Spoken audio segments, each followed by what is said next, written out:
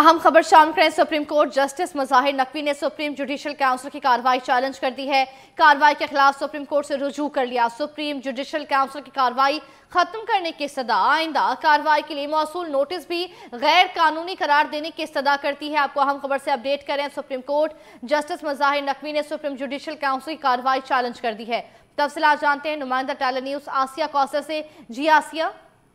जी शुक्रिया, आज जस्टिस मुजाहिर नकवी ने सुप्रीम जुडिशियल काउंसिल की जो कार्रवाई थी, उसको चैलेंज कर दिया है और जस्टिस मुजाहिर नकवी ने कार्रवाई के खिलाफ सुप्रीम कोर्ट से रिजू कर लिया है और सुप्रीम जुडिशियल काउंसिल की कार्रवाई खत्म करने की इस्तदा की है। उन्होंने मजीद ये इस्तदा भी की है कि सुप्रीम जुडिशियल काउंसिल से आइंदा कार्रवाई के लिए मौसू नोटिस भी गैर कानूनी करार दिया जाए। दरख्वास्त में मजीद ये भी कहा गया है कि ज़ाहिर किए गए असासे जज के खिलाफ कार्रवाई की बुनियाद नहीं बन सकते और टैक्स हुकाम की जानब से असासों पर कभी कोई नोटिस नहीं आया।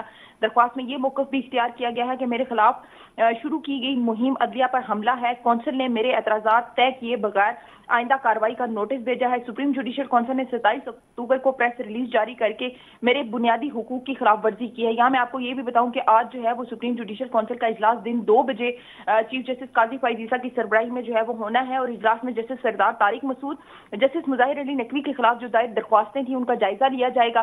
जराये के मुताबिक इजलास में आज जस्टिस मुजाहिर नकवी के एतराजा पर भी गौर किया जाएगा और सुप्रीम जुडिशियल काउंसिल ने जस्टिस मुजाहिर नकवी को शो का नोटिस जारी किया था।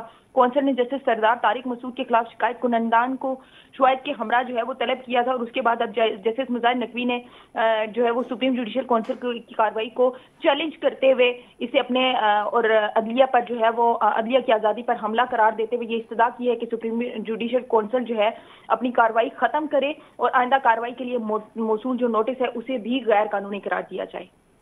ठीक है, बहुत शुक्रिया आसिया आपका।